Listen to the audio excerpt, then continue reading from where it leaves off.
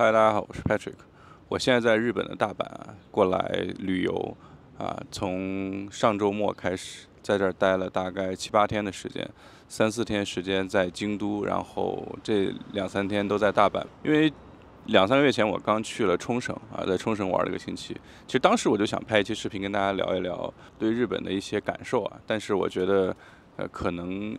因为冲绳它不够日本，所以说我觉得可能在京都和大阪体验过之后呢，我觉得可能会更有发言权一点啊。而且呢，我这期的视频可能不太会从呃旅游的视角，比如说你要去打卡什么地方啊，呃，你要去住哪里啊，我不太会从这种方向去分享啊，因为我。会单独做这种酒店开箱的视频，如果大家想看这种关于酒店的分享的话，可以看我其他的视频。那这期呢，我可能更多的是从一个从一个体验和观察者的视角去看日本的这种生活，是不是跟我们想象的一样？另外呢，就是假设。你考虑去日本发展，来日本移民生活的话，是一个什么样的感受啊？我试图从这个角度去分析。当然了，因为我来的时间还是比较短，所以说感受肯定有很多偏颇的、偏游客的啊，甚至是一些偏见的东西。所以说有说的不对的地方，也欢迎大家指出，也欢迎大家补充啊。啊，首先说吃啊，我觉得对于中国人，对于我们东亚人来讲啊，去日本吃东西是你基本上不需要适应的。当然了。可能比如说江浙那边的人啊，广东那边的人可能会更适应。那可能北方大家喜欢吃面食啊，当然这边有拉面。然后比如说你是呃西南地区的人，可能你比较喜欢吃辣的，这里在日本确实是比较少。但是对于口味偏淡的朋友来讲，我觉得在日本基本上不需要适应，不管是啊吃拉面也好啊。吃这个寿司也好啊，比如说你喜欢撸串的人喜欢吃烧鸟啊，我觉得这些都可以。然后包括我前两天去吃了一家关东煮，我觉得也挺好吃的。它是用鲸鱼肉炖的这个熬的汤去做的关东煮，还是一个挺特别的这种风味啊。我觉得从吃上日本其实跟内地啊、跟香港啊这种是很像的。那我其实我在香港的时候发现，大家也更喜欢去吃日本的烧肉啊、日本的寿司啊之类的。啊，基本上你看，在香港的这个饭店排队最多的，基本上都是日本的餐厅啊。但是我觉得日本的吃饭有几个问题啊。第一，像我刚才说的啊，这个口味确实是，呃，有点过于清淡了。有的时候它只是加盐呢，或者加一些酱汁去调味。如果你是重口味的话，可能需要适应一段时间。那第二个呢，就是它吃生的东西会比较多，不管是刺刺身啊，吃寿司啊，啊，包括它一些呃饭呐或者之类的，它上面给你放的肉都是。半生的啊，或者是啊有一点点生的啊，这个可能大家需要，呃，有的可能是不太适应，有的可能不太习惯的。另外呢，就是我的一个发现，就是在日本吃蔬菜真的是很少啊，特别是我来大阪这几天之后，我发现我印象中好像几乎没有吃到任何的蔬菜。那当然了，你补充维生素有很多的方法啊，比如说你可以吃它药妆店里卖的各种补充维生素的这个补剂啊啊之类的，或者是你去买它的那种。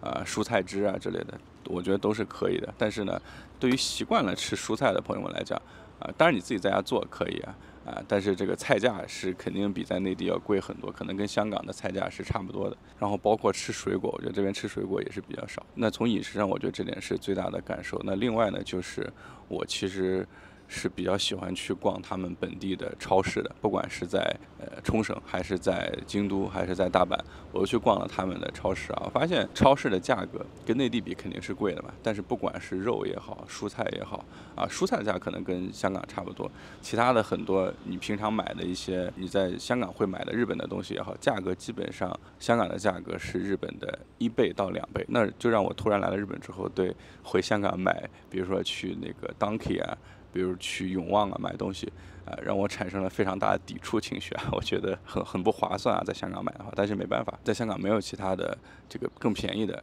你想买日本东西的选择啊啊，所以说我觉得从吃的角度来讲，呃，我觉得物价可能没有大家想象那么高啊。那除了去超市买东西之外，其实你在外面吃饭，我住这个附近有一家叫做银鸡搜吧，就是吃拉面的地方，我是我觉得这是我吃过在香港吃过最好的这个日式拉面。它在那个歌赋街那条街上，我刚好这次住的那个酒店附近呢，就是这个店的总店。然后我就发现，香港的价格基本上是这家店的三倍啊！这家店卖五十大概折合港币五十一碗拉面，在香港差不多你要一百五，这样我就觉得啊很坑啊。当然不只是吃拉面，你在香港吃烧肉啊、吃寿司啊，基本上价格都是要比日本本土贵出一大截的。所以呢，你像我在香港生活时间比较久，然后我来日本之后就觉得有一种啊。吃到就是赚到的感觉，买到就是赚到的感觉，确实有这样一种感觉。那我相信，其实，在内地的朋友很多，我们中国人在这边旅游，我发现大家应该抱持的也是同样的感觉。啊，你不管是买它本土的，像 Montbell 这些品牌也好，还是去吃饭也好，啊，基本上你多买啊就是赚。其实相对于你在香港或者是在内地买，其实就相当于省钱嘛。那所以说，这个是从物价的角度来讲。那住呢，其实我也观察过一些，包括冲绳，包括这个大阪。还有京都的这个房价啊，我前天去大阪这个环球影城的路上，我看到有一个广告啊，那个地方叫西十条还是西四条忘了，那个地方大概离这个梅田就是他们最重要的城市的商圈，可能就四站地铁吧。然后那个地方我看到它的一个广告是新盘，呃，七十平的房子，我折合了一下港币大概是两百万，啊。这个价格，我觉得如果放在香港的话，简直是不可思议啊！七十平的房子在香港大概要卖一千两百万以上啊！啊，这个房价大概是香港的这个四分之一、三分之一啊，大概是这样的一个情况。那我相信这个收入肯定是没有香港的三分之一嘛，呃，不止香港的三分之一嘛，啊，那所以这个房价和这个。收入的比来讲，我觉得日本应该还是比在香港要好很多的啊。查了一些资料啊，说这种板楼，其实在比如说在大阪，其实这种板楼还是相对比较贵的。如果你在郊区住它的，或者是稍微远一点地方住它的一户建，就类似于那种，呃，像联排别墅一样，但是它没有院子啊，就那种独门独户的这种小房子，可能更便宜。可能一百万或者一百万多一点就可以买到。虽然日本居住的面积普遍比较小，这点我住酒店也可以感受得到啊。但是你从这个价格来讲，其实真的啊，相对于香港啊，甚至我们在内地的这个一线城市来讲，这个价格都算是相对比较便宜的。而且大阪，嗯，不是什么小城市啊，它应该是整个日本第二大的城市啊。那如果从住的角度来讲，我觉得在日本买房子应该压力没有。那么那么的大，然后租啊，我其实也看了一些租盘，因为我刚来大阪那天是住新大阪那里，可能就是偏北一点啊。我看了边那边的租盘价格，基本上，呃，一个大概三十平到四十平的一房的价格，大概是三千到四千港币之间啊。我觉得这个价格基本上也是大家可以承受得起的，因为你像在深圳的话，一个城中村的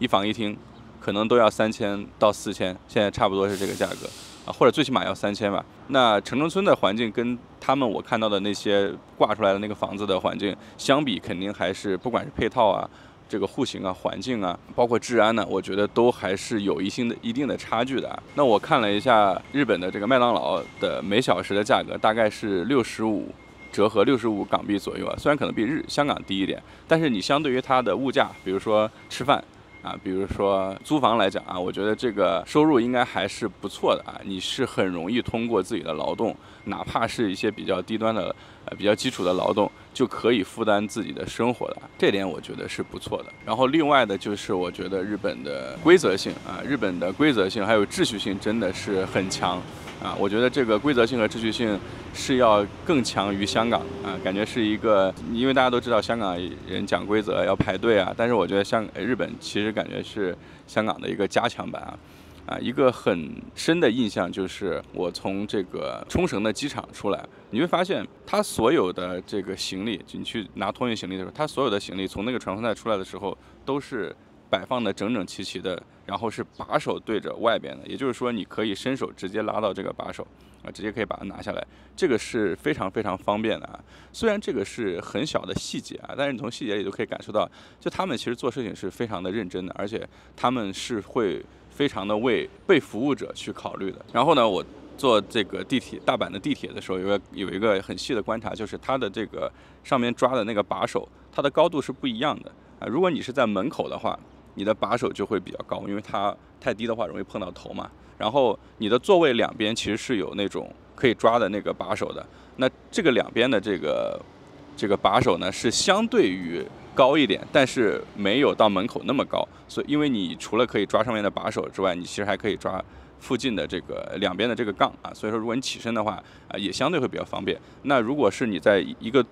一排座位的正中间那三个地方，因为你是没有把手可以抓的，那三个地方的上边的那个抓手是最低的。啊，我相信应该是方便。比如说你坐在那里，你腿脚不方便，你不容易起身的话，你是比较容易伸手够到那个把手起来的。啊，这个是我的一个观察，我觉得他们在这方面确实做得很细啊，想的很多。那从你被服务者来讲，你的便利性会很好。那另外，我不得不吹爆的就是这个日本的厕所啊！我不管是在冲绳，还是在大阪，还是在京都，它基本上所有的洗手间啊，我相信很多来日本旅游的人也发现，它所有的洗手间都是那种智能马桶啊，而且非常非常的干净，几乎没有看到过不能上厕所，你觉得很脏，没法上厕所的这个局面啊！我觉得这一点真的是很厉害啊！我觉得能做到这一点啊，因为洗手间是最难去管理，因为它不断有人用嘛，所以是很容易脏，很能很难长期保持这种洁洁净的，而且都配置了这种。呃，智能马桶，我觉得这个真的是在日本非常非常舒适的一件事情啊。那我不管是上一次去冲绳，还是这一次来大阪和京都，啊，我其实每次计划的时间都不短，大概都有八到九天的时间，但是每次都有让我觉得好像还想多玩几天，想多待几天，没有待够的感觉。那所以说整体的感受来讲啊，对我来讲是非常好的。那我觉得如果在这边生活的话，应该你的感受会更加的强烈和具体。这种服务的细节呀，这种。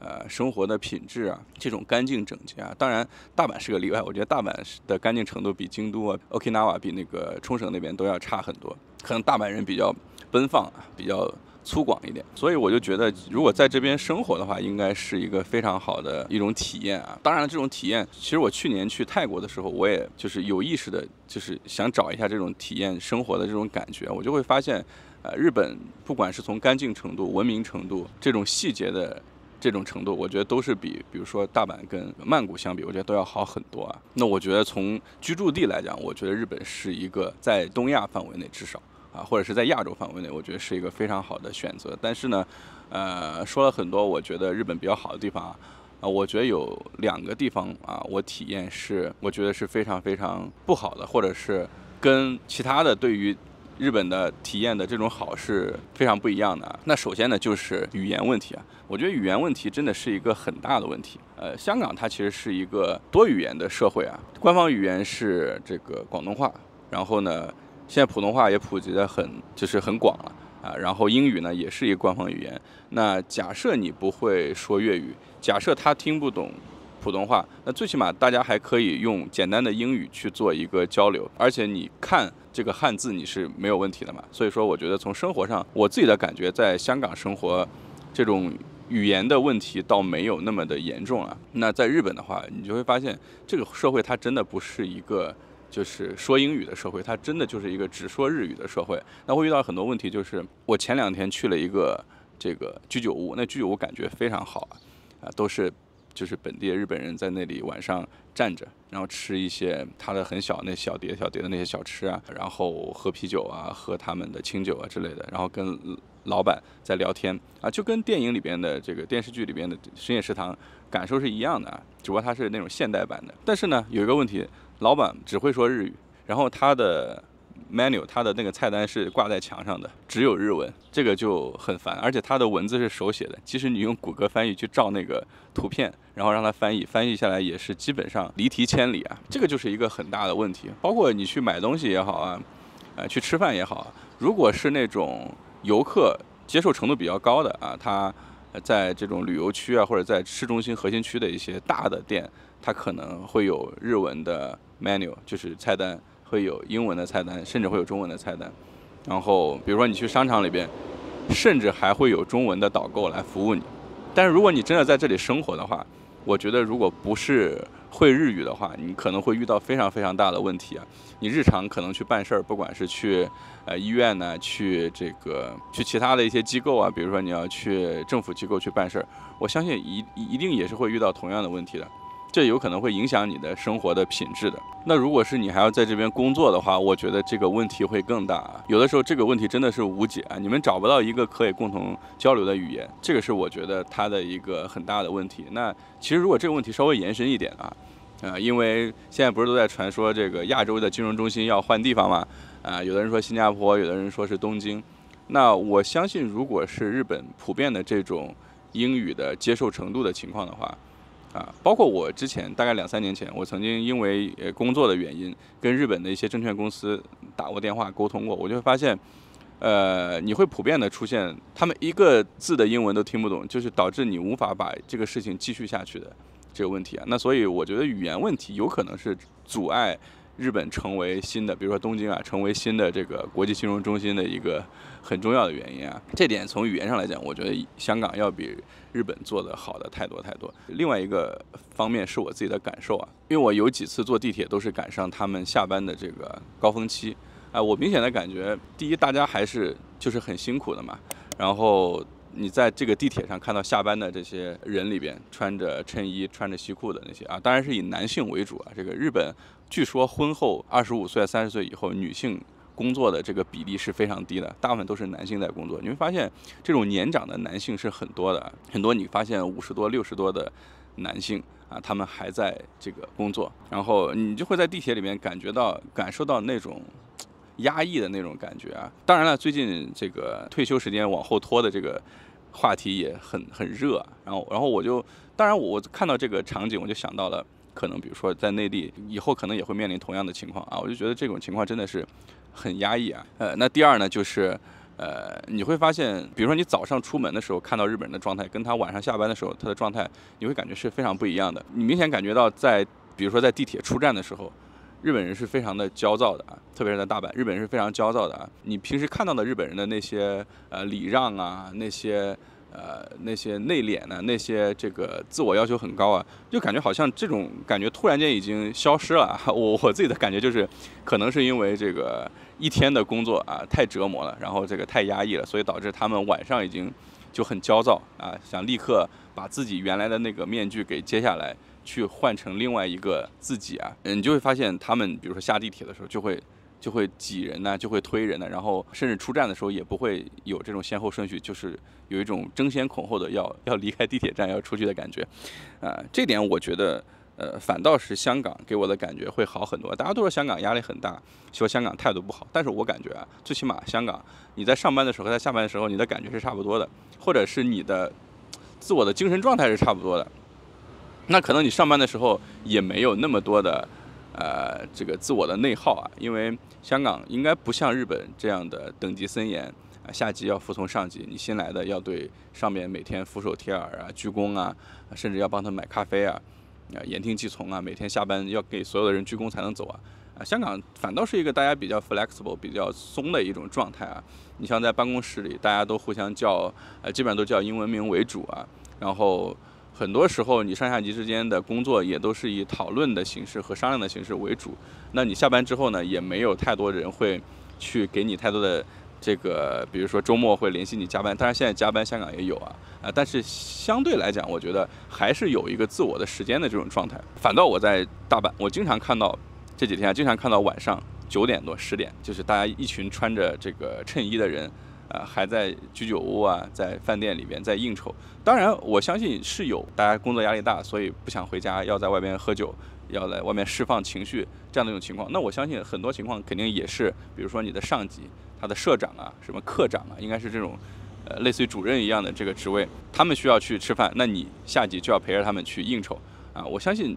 从我自己的观察来讲，很多情况是这样，并不是朋友之间自我的这种喝酒宣泄啊、释放啊，应该是这种。所以说，这种等级森严呢，这种社会压力啊，我觉得还在的。现在的同事里边有很多，他们经常来日本啊，所以说他们对日本比较熟。那他们就告诉我说，日本呢，他们它其实是一个生活的天堂啊，因为我刚才讲了嘛，各种各样的基础设施啊、服务态度啊、啊这个生活质量呢，都做得非常好。但是呢，日本是打工的地狱啊，因为它等级太森严，你没有太多快速的超越的机会啊，你只能只能在这种像齿轮一样的社会结构里边，就是慢慢的磨合，一步一步的往前走啊。当然了，退一步说啊，这种生活方式、这种节奏，呃，包括这种生活品质、这种生活的状态，看跟谁比啊？我觉得可能跟香港比，呃，是有它的优劣，可能，但是跟其他的某一些地方比，你有可能这种状态还是比较好的，最起码。呃，你在六十岁的时候，你还可以有工作可以做，对吧？那基本上这是我这几天在日本的一些感受啊。叠加了上次在冲绳综合来讲的一些感受，可能聊的也比较散呢，而且没有从这种呃攻略的角度去分析啊。但是我相信，在我频道的很多大家从内地移居到香港的人，已经拿香港身份的人啊，很多人他们可能会考虑不止香港这一个目标，可能还会考虑其他的地方。那所以说，我觉得从这个角度来讲，可能我这期视频对大家会有一些帮助啊。那最后来说一下我自己的这个知识星球的频道啊。那我自己是打算，除了讲香港之外，我可能会去研究和去探讨一下，除了香港之外的其他的地方，比如日本呢，比如加拿大呀、澳洲啊、美国呀，从找方法的角度去进行一个分析和研究，啊，试图找到一些呃，你除了香港之外其他的发展或者是你移居的方向，我更多的想从这个方向去讨论。那我觉得，如果大家有对这方面感兴趣，的话，其实也可以关注一下我的知识星球的频道派翠克同学。那当然，我主要还是以分享香港的签证啊、香港的优才啊、高才啊、香港的续签啊、找工作呀，从这些角度去分析会比较多一点。但是以后呢，我更多的会加入到啊，比方说怎么样移民日本呢，然后一些物价的对比啊，移民加拿大的几种方式啊，现在。最新的情况是怎么样的？我可能会多一些这样的讨论和分析啊，也希望可以给大家多一些有用的资讯，或者是多一个角度吧。啊，希望大家可以找到自己呃理想中可以长期生活啊，可以自己喜欢的地方。啊，那这期的视频就先到这里，那我们就下一期再见。欢迎大家点赞、评论、关注和转发，拜拜。Baby, you give me